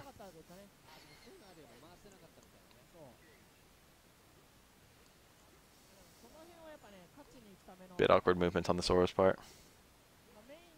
Name is still the same as the fucking Dudley player.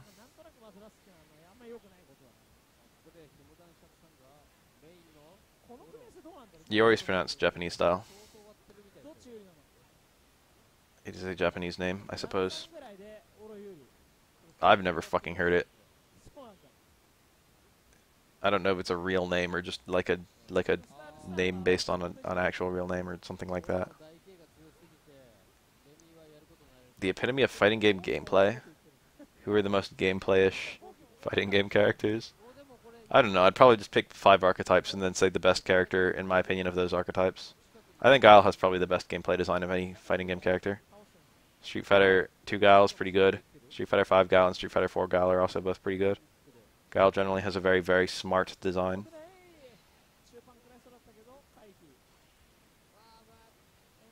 Um, I guess I would loosely answer Zangief, but Zangief's actual, like, Zangief is almost never balanced.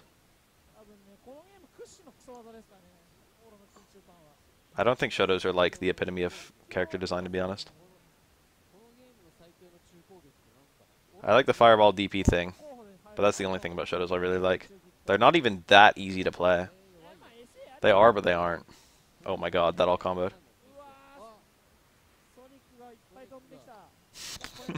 not even Mario from Smash.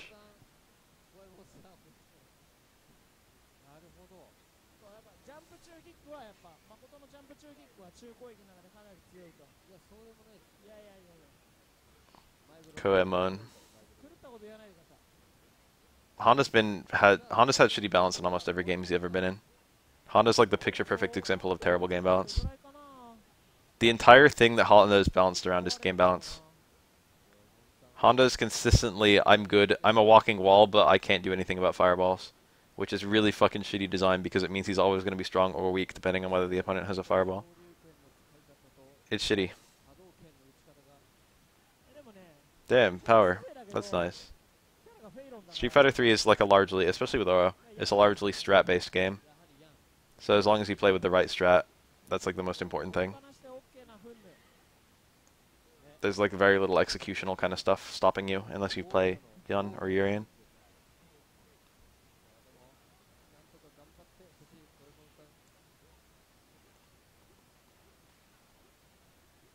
I think a lot of like this is going to sound like complete and utter heresy, but I think a lot of the problems with Street Fighter fireballs could be solved if the fireballs were either duckable or just went through each other, which is coincidentally actually what um, Injustice 2 did.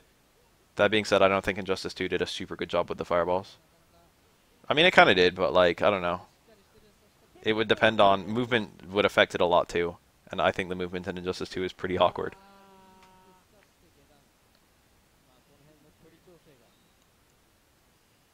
Fireballs are too stalemated by design in Street Fighter. If you make a fireball too strong, it's too easy to just be in a position where both players' best play is to throw a fireball. And then you'll see like eight fireballs in a row from both players, just constantly clashing in the middle. I think the game that balanced fireballs the best of any Capcom game is probably Street Fighter 4. I would say they were about right in that game. They had about the right strength. They were quite good. It was worth using fireballs every fireball character. But like you could easily play around a fireball. There was no like true fireball lockdown.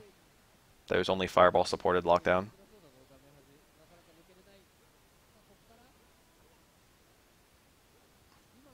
Really makes you think. Meat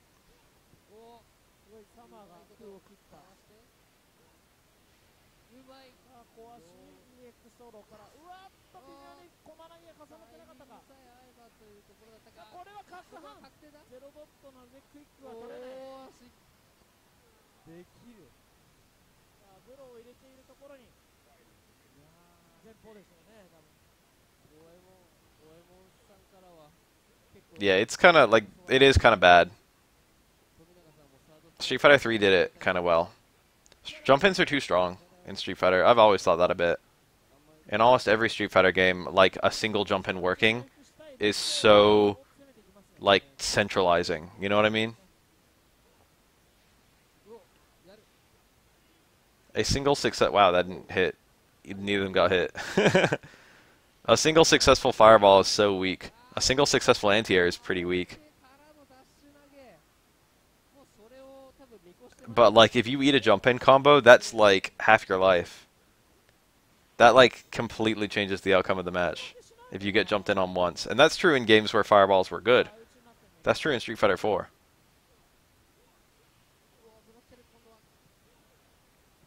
There needs to be a good way around fireballs that isn't just like, you know, that doesn't leave them that weak to, to something that game changing.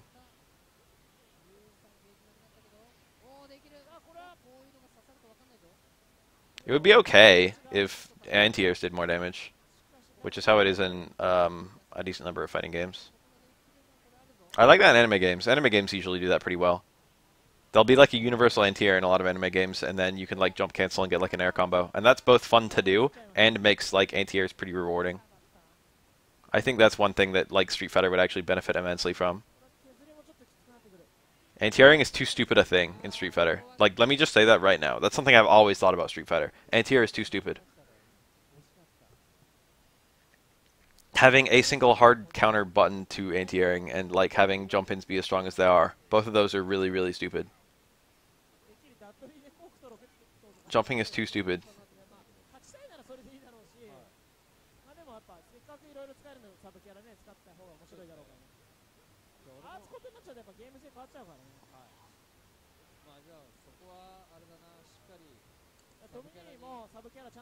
It's too it's too it's too dumb in Street Fighter that like your anti-air is something you have to learn. You know what I mean? It's like a different button for every character, and like they all work in different ways. That's too specific for beginners. That's like that you like. Let me say right now that almost always, as someone who like helps people learn to play fighting games on a decently regular basis, almost always the problem that every beginner has is jumping too much and not anti-airing enough. Okay. Those two things. That's a that's a problem. I think that's a problem. I think it kind of fixes itself once you kind of learn about it a decent amount. Like once you learn, once you're fighting people who anti-air correctly, and once you know how to anti-air correctly, I think it's it's it's like playable. It's like not a bad system.